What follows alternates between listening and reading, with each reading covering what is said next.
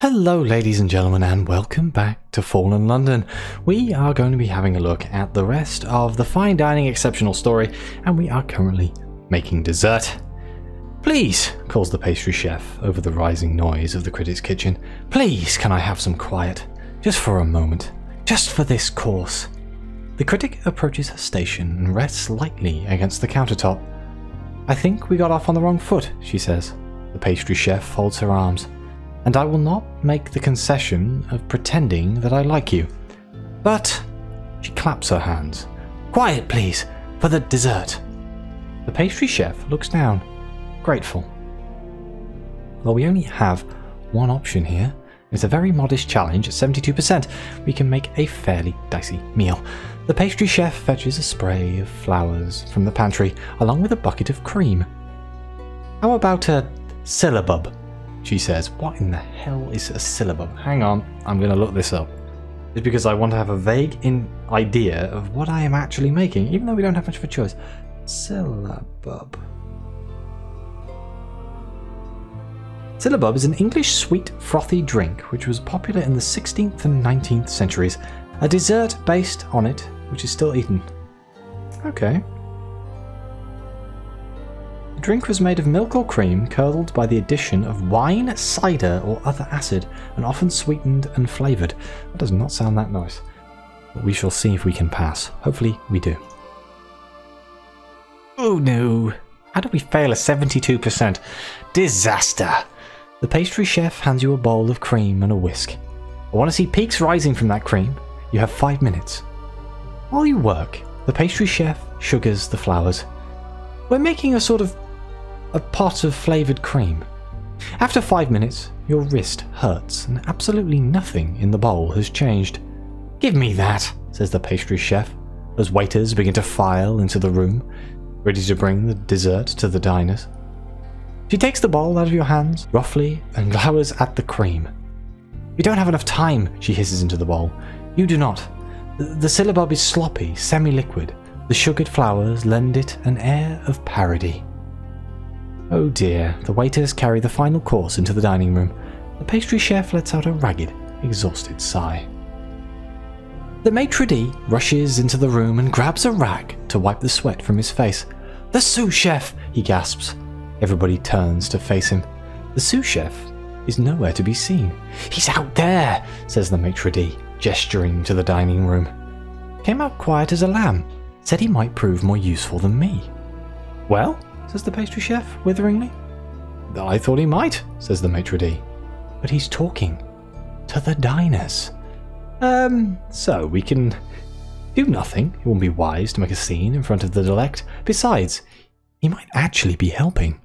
We can send out the maitre d'. The maitre d', skilled in the art of subtle yet firm persuasion, might be able to retrieve him.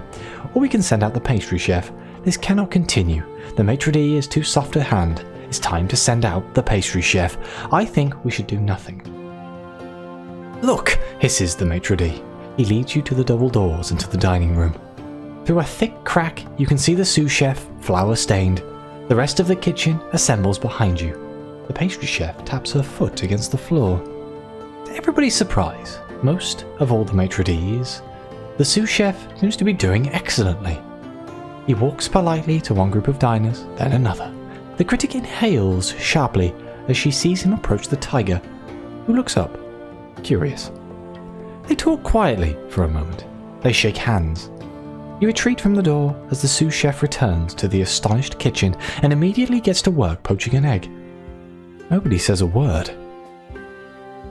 For better or worse, the dinner service is finished. There's only one thing left to do. Despite the efforts of a punnet of poisonous cherries, diametrically opposed chefs, and a slowly collapsing kitchen, you have somehow managed to serve four courses.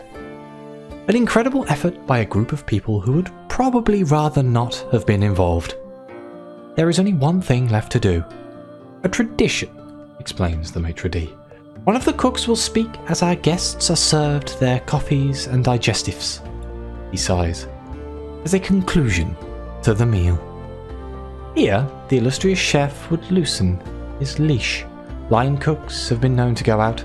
The sous chef delivered a poem once, in happier days. Tonight, the role falls to you. We can enter the dining room. The maitre d' stands beside the kitchen door, waiting. He leans lightly against the frame. Pastry chef brushes something from your shoulder. Wash your hands, she says. Don't make eye contact, says the line cook. Especially not with the tiger, says another. At her station, the critic pokes at some remnants of the dessert course. Don't listen to them, she says. He won't bite. Besides, he's had worse meals. He might even have cooked them. The maitre d' coughs politely and stands upright. Quiet, please, he calls, and the kitchen hushes.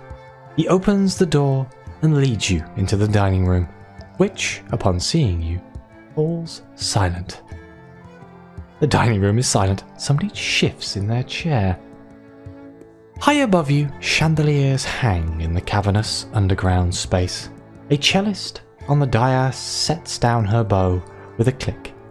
The face of 250 assembled diners turn towards you.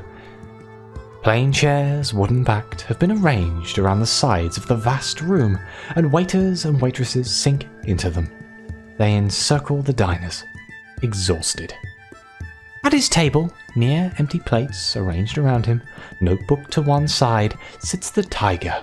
Beside him, the critic's black purse hangs over the back of her empty chair. Her silverware is untouched. So now we get to assess the damage. Perhaps you can gauge how the meal has gone down among the diners. The waiters and waitresses frown anxiously. Most plates have been cleared, but some have only been picked at. The diners sit back, dissatisfied. A demand for explanation hangs in the air. Suddenly, the tiger sneezes explosively. 250 heads turn towards him. Beside you, the maitre d' makes a sharp intake of breath. The tiger's eyes are streaming with something. It crusts around their edges and trickles down his muzzle, turning the fur dark and sticky. What? whispers the maitre d'. Did you serve the tiger? Oh dear. Maybe he is allergic to that particular cut of meat. There is a tiny noise behind you, in the door to the kitchen. The pastry chef and the critic stand side by side. The critic has changed her apron and shifts from foot to foot nervously. The pastry chef stands, her arms folded, waiting. Behind the two of them stand the line cooks, arranged in a row. Further back still, you can see the bright lights of the kitchen, cold in comparison to the gloom and warmth of the candlelit dining room. Well, mouths the pastry chef silently. There is a long moment of silence. Then at last, the tiger speaks. This meal, he says, tell me, who prepared it? So we can credit the illustrious chef. Dolly's is his restaurant after all. Perhaps he deserves this review. Or we can claim the credit ourselves. You were intimately involved in its production. The illustrious chef definitely wasn't. I think I'll claim the credit myself, because if it goes horribly wrong, at least the chef won't go down. As the words leave your mouth, 250 diners gasp. The sound of the breath echoes up towards the high ceiling. Who? whispers an older woman, more to herself than anybody else. Is that? Other diners seem more relieved than anything else. They look at the plates of unfinished food in front of them, then back up to you. Of course, the illustrious chef didn't produce this mess. This could only ever have been created by somebody else, someone unfamiliar with the kitchen or good taste. A simple arrangement of ingredients on a plate. The tiger nods solemnly. Indeed, he says. He sits in thought for a moment. As the diners watch, he dips a claw into some leftover dressing on his plate, tastes it, and nods. What a spread, he says, in a tone so measured that it is impossible to tell what he is implying. What a spread! Nobody speaks. Forgive me, he says at last, but I have to ask. This dinner, this whole service, did the kitchen find it easy to prepare. Uh, easy? No cooks. Okay, what can we do here? It was a complete disaster, in, in truth. Let's go with describe minor problems in the kitchen. The tiger nods slowly, impassively. If the diners are hoping he'll tease his review in some way, they are disappointed. Their own responses are somewhat less measured. Something approaching understanding dawns on the diners' faces. You can see them forming some kind of timeline of the night's events, and their expressions change. Concern. Something must have happened to the head chef. Recognition. You must have led the effort to overcome it. Delight. The meal you produced was despite this. Excellent. Was it? well, says the tiger, it has been quite a night. Thank you for your presentation. On the other side of the room, behind the tiger, the maitre d' has his eyes closed. His head rests gently on the shoulder of a waiter. The tiger smiles. That'll be all. You have a good evening. He gets up gracefully, and with a hook of his claw retrieves the critic's black purse from her empty chair, and then he leaves. There is a sigh of relief from behind you. Let's return to the kitchen. Your work here is done. It's time to say goodbye to the kitchen.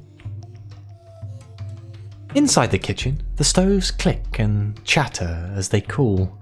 Someone has roused the maitre d', and he emerges through the doors with you and shakes you weakly by the hand. Well, you did it, he says.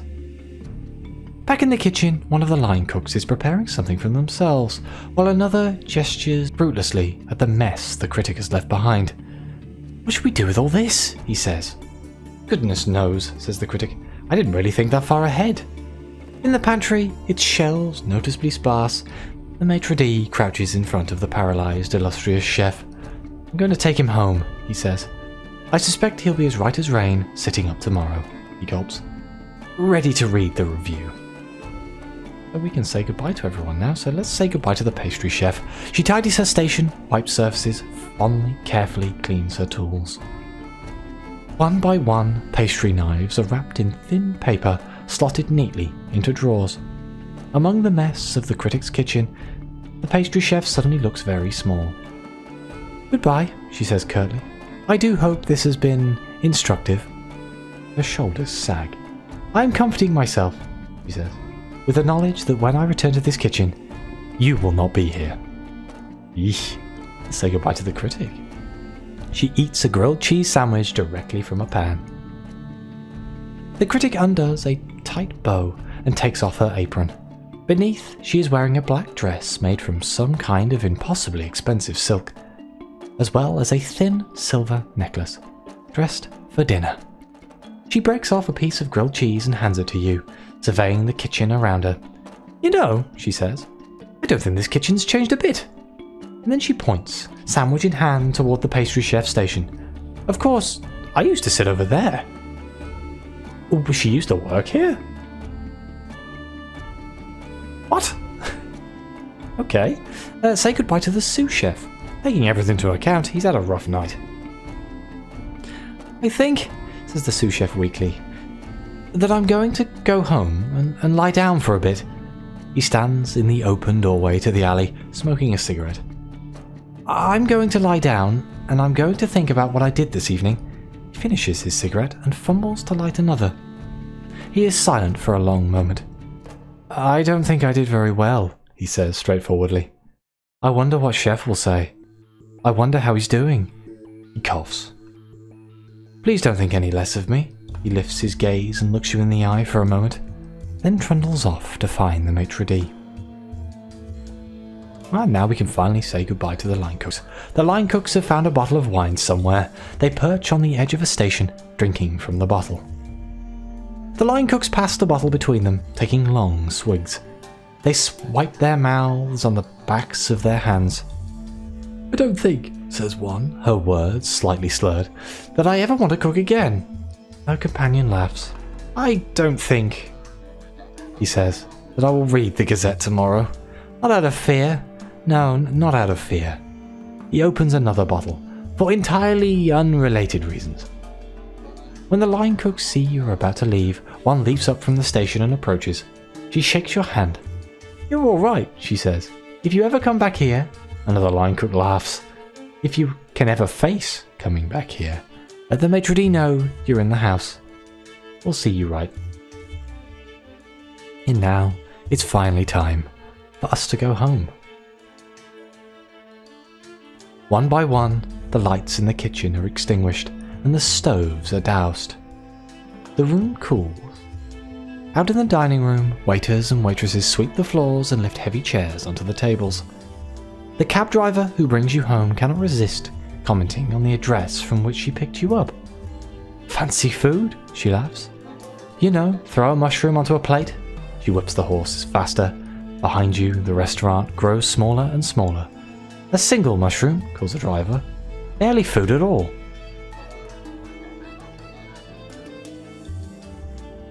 Here we are. The review arrives. Oh, there's a few things here.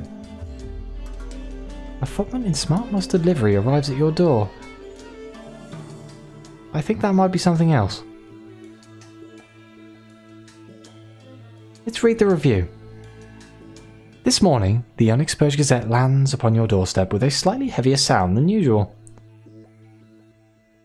The Gazette must be trying something new, because folded between the main paper and the customary pamphlets is a new food section.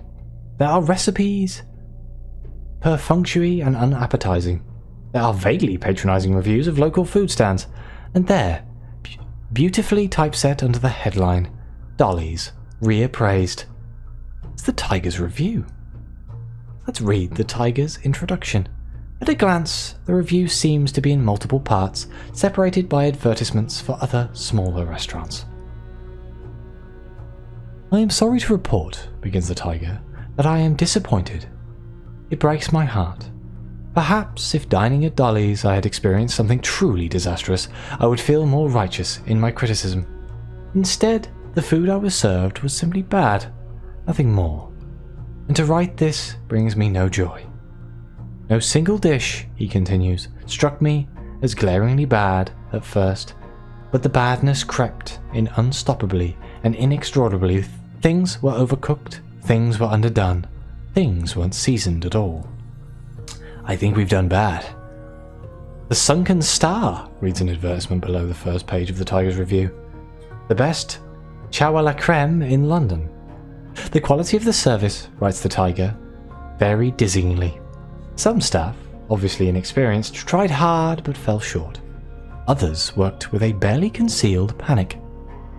More concerning than this, however, was the fact that an ingredient in the meat and cheese course rendered me unable to speak for several minutes. I understand, he continues, that this was not deliberate. Nobody in the kitchen was trying to poison me, much like nobody in the kitchen was trying to prepare good food. It soured me, however, even further. A boxed in panel features a drawing of the illustrious chef, his mustache resplendent. Perhaps the problem, writes the Tiger, was that the head chef did not cook the meal I ate. Perhaps I have buried the lead.